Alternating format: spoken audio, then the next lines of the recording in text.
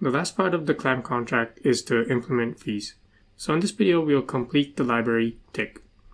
We'll start off by completing the function that will calculate the fee growth inside. The function get fee growth inside will take in these parameters. It's going to take in a state variable, a mapping from int24 to info struct. It's going to take tick lower, tick upper, the current tick, and the state variables for fee growth global 0x128 and 1x128. And inside here, we'll implement the code that will calculate the fee growth inside 0x128 and fee growth inside 1x128.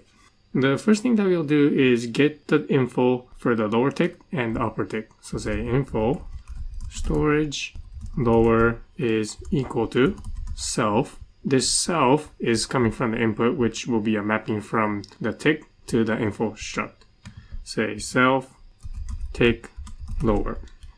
Okay, and we'll do something similar for the upper tick. Info storage upper is equal to tick upper. Okay, the next thing that we'll do is calculate the fee growth inside 0x128 and fee growth inside 1x128. Now, inside here, we're gonna wrap our code inside uncheck.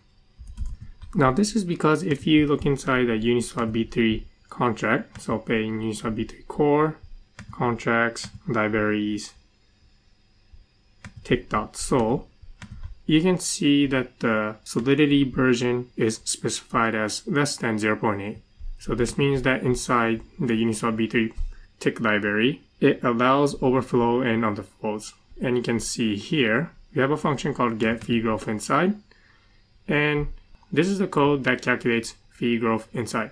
Recall from the videos about the equations that the fee growth inside can be both positive and negative. Since here we're dealing with uint256, this means that this these numbers can overflow or underflow. However, here inside our code, we're working with solidity 0.8. So that is why we need to specify that the numbers inside here, the fee growth insides that we'll calculate, can overflow and underflow.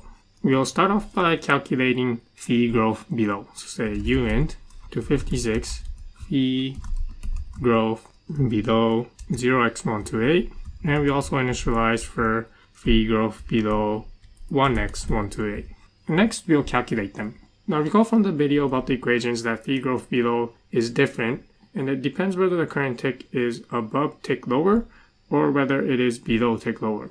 Say if tick lower is greater than or equal to tick current. Then we set this fee growth below 0x128, fee growth below 0x128 to be the lower dot fee growth outside 0x128.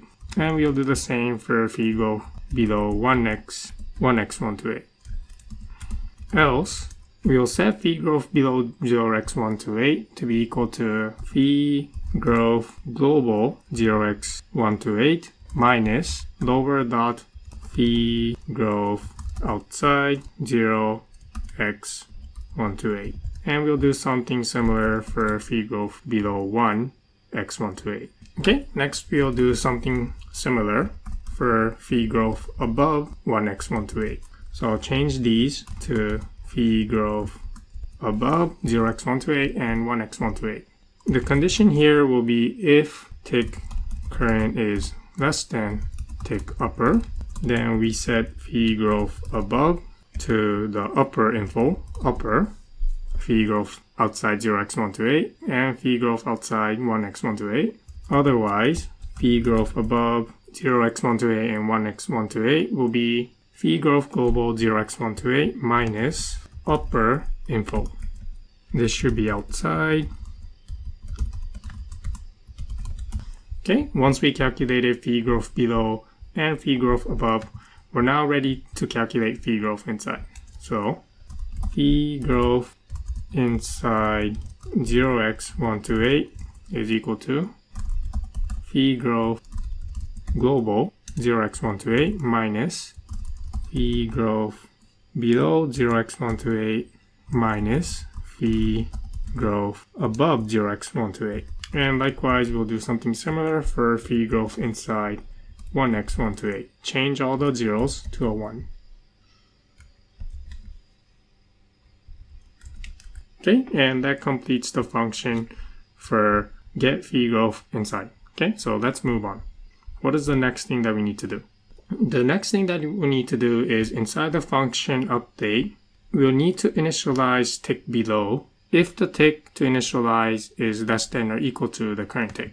So here, say if tick to initialize is less than or equal to the current tick, tick current, then we'll need to set info dot fee growth outside 0x128 to be the current fee growth global 0x128. fee growth global 0x128 and likewise for fee growth outside 1 x128. Okay, and that completes the function for update. Okay, let's move on. So the last thing that we'll need to do inside this file is to wrap unchecked inside the function cross. Say unchecked. And why are we doing this?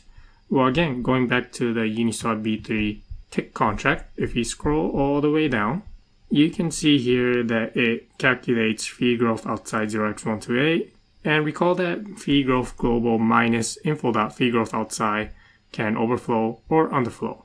And again, inside Uniswap V3, the solidity version for this contract is less than 0.8. So by default, these math operations can underflow and overflow.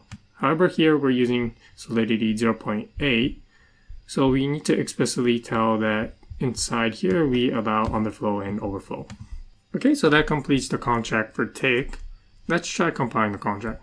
Inside my terminal, I'll type forge build. And our contract compiles. So we completed the contract for tick. In the next video, we'll do the same for the library position. Thanks for watching. See you in the next video.